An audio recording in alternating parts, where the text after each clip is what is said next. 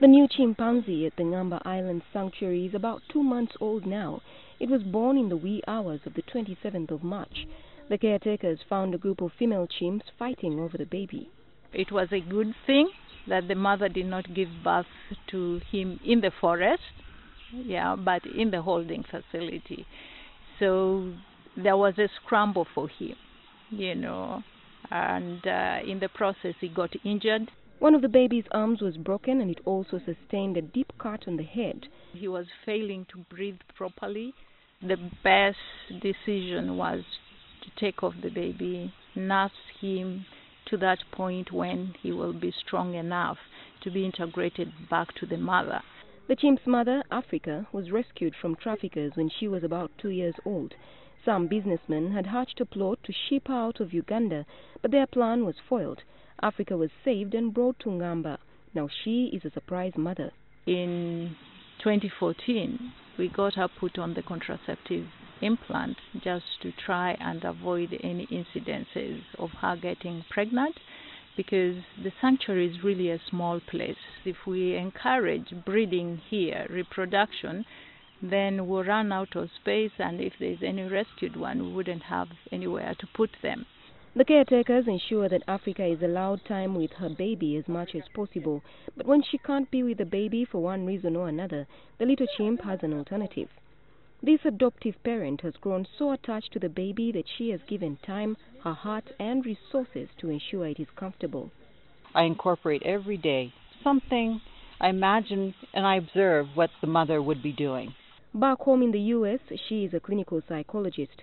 She says her undergraduate studies focused on primates, and she has been a volunteer here for the last five weeks. She does not have children of her own. I've experienced what my friends have told me about having children, and that is being up at all hours, at at any time of the day or night. But she appreciates that the chimp will not remain in close contact with her and other caretakers. She knows that when the chimp clocks three years, it may not be as friendly as it is now.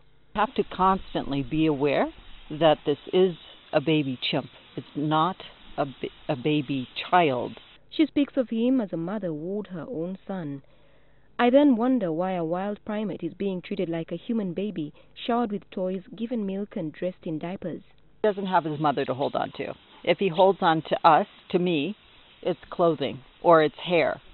So, in order to keep from your hair falling out or your clothes coming off, he's got something to hold on to. By all standards, if this was a, this would be the most expensive, one of the most expensive Ugandan babies.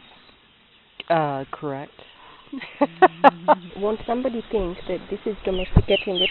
Because ideally in the wild it would not be getting. Well, the the baby for circumstances does not have its mother. So now we are its mother until the baby is reintegrated back with his mother. We're going to give him the comforts that the mother would. Maybe it's not the blanket, but it's warmth. But even as we chat, it is clear that she would rather be holding the chimp and tending to it. Some chimpanzees are brought to the island when they already have names. Others are given names by the caretakers or circumstances determine what names the chimpanzees are given. But for this baby chimp, the sanctuary authorities would like to open it up and allow their partners to play a role.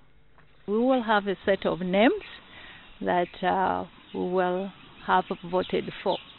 But the voting will have to come with some support for the for the baby.